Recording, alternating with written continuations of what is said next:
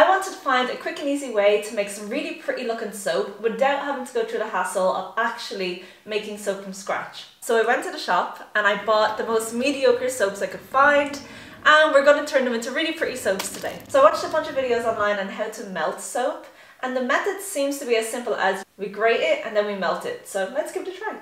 This soap cost me 50 cents. I like the colour.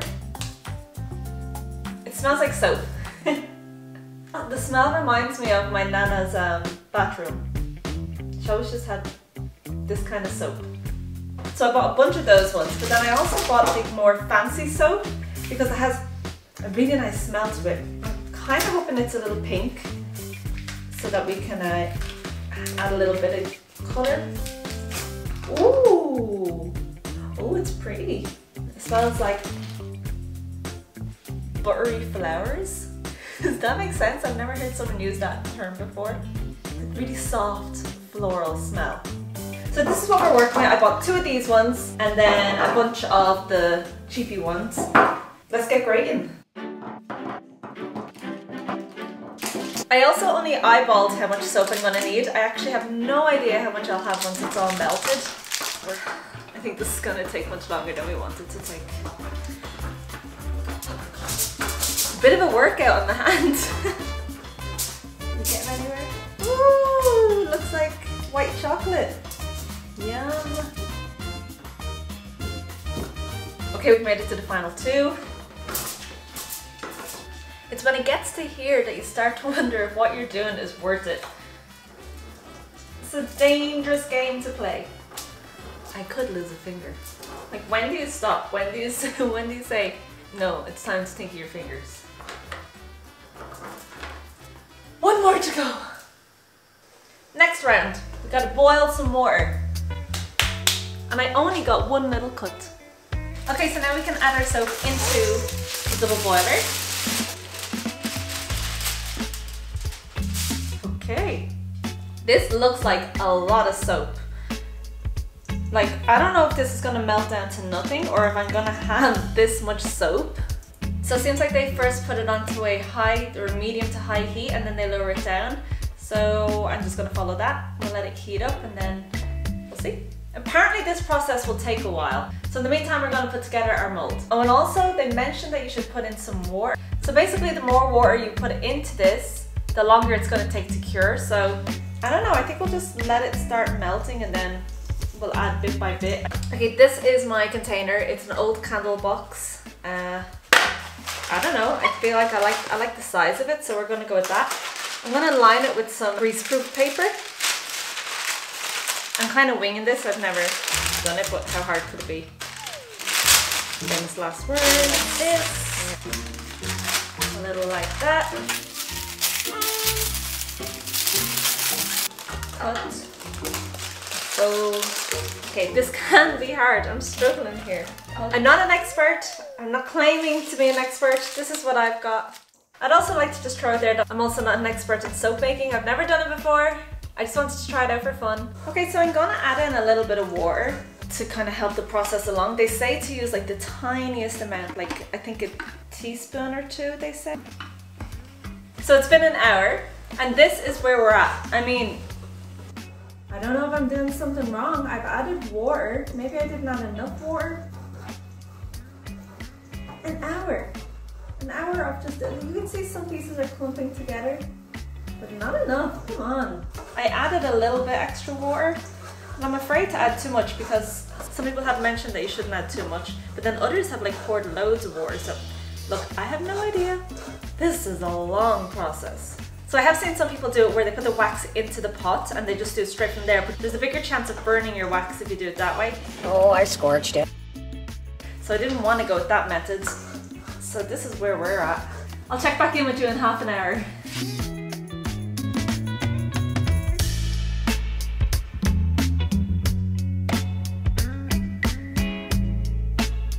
Okay, it's been about almost three hours now and this is where we're at. I'm gonna add a little bit more water in and now we're gonna try and get a, um, I'm gonna try and get a mashed potato style consistency. I'm just kind of running out of patience at this stage. It's been taking forever. This took all day. I'm actually beginning to wonder if the I should change to a pot and just really get the heat on it for the last little bit. Maybe this is a stupid idea. It's okay. I'm born to make stupid ideas. Let's see how we get on with this. The reason why I didn't do it this way in the first place is because it's easier to burn the soap, but now that it's near the end, I can keep a close eye on it, so we'll see. And apparently I have to be extremely quick in putting it into the container. Just one more little bit of water. Nobody has to know. That was a lot of water. That's a lot of water. Now it's starting to look like mashed potato.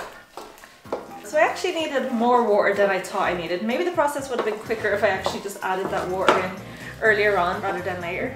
I'm pretty happy with this. I like the colour too. I have to shove it all in and work quickly because apparently the water evaporates so quickly that it dries straight away. Something like that.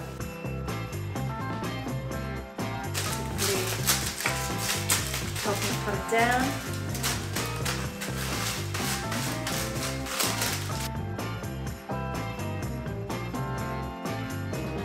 Just gonna throw them top. I'm gonna pat them in apparently otherwise they'll just fall off.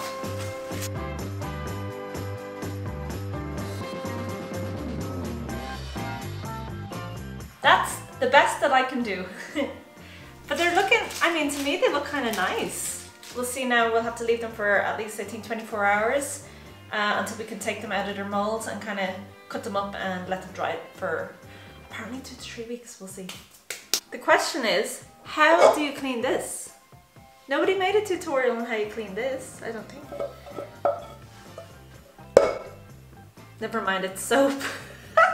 it's soap, I can just put water in it, it'll go soapy. Never mind. See you tomorrow. Alright, it's the next day. I left them to dry overnight. You're supposed to give them two to three weeks to completely dry out, but I think they're good enough now to try and take out and see how they look. Okay. Honestly, given that these were like a total of four or five euros.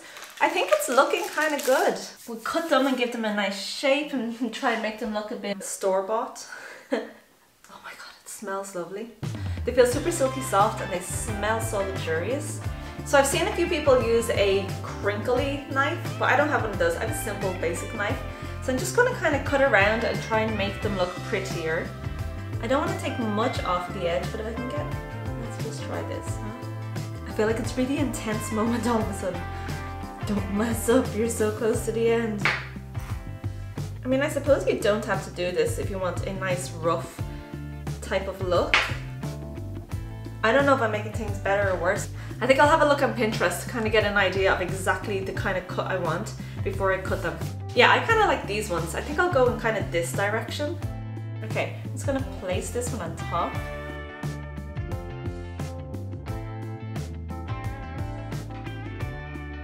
So now let's wrap them up. I think the most aesthetically pleasing to me is using some twine and some paper.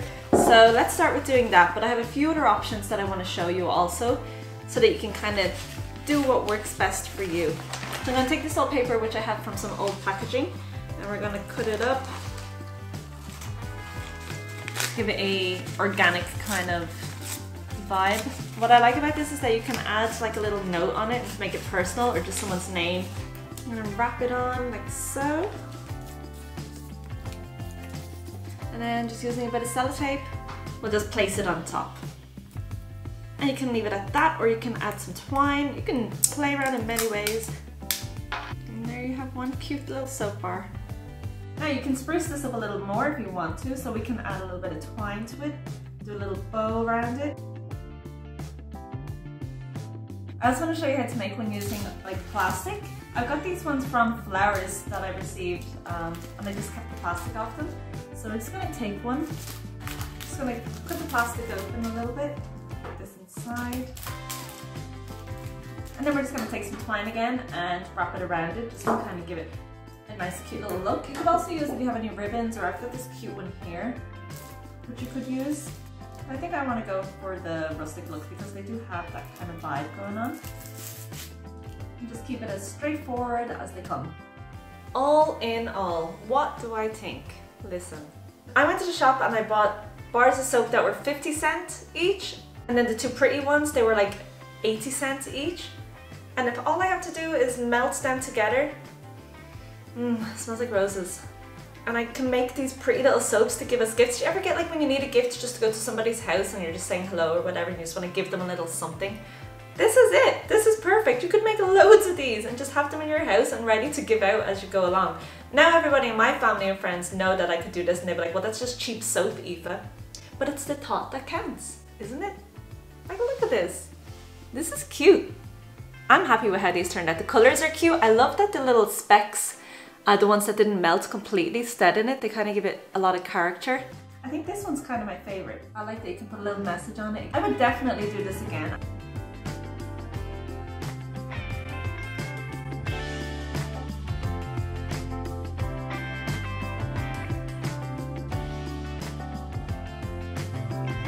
If you enjoyed this video, you might also enjoy this video too.